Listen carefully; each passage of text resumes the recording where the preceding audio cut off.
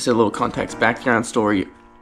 I've done work for this woman. the first job I remember doing for her was house sitting her cats back when she had a couple more cats. But um, I'd go over and get the mail and feed the cats and whatnot and fill up the water bowl. And that was probably when I was like 10 or 12.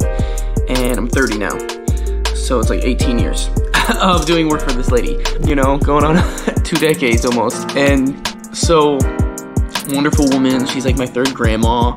In the past few years, I've been her regular landscape guy. So I'm gonna film a time lapse of me doing just one of the biggest jobs, honestly, I've done in a while for her.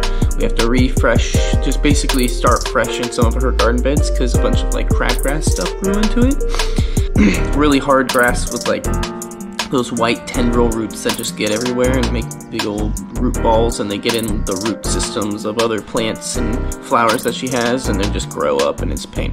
So we're gonna do a lasagna tech thing that I've done in the back for my parents.